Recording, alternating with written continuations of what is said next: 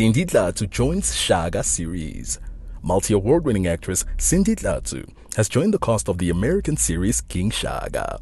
Dlathu has been cast in a recurring role of Inyoni, a council leader and midwife in the epic drama which tells the story of King Shaka's personal journey from a stigmatized childhood to becoming a legendary king.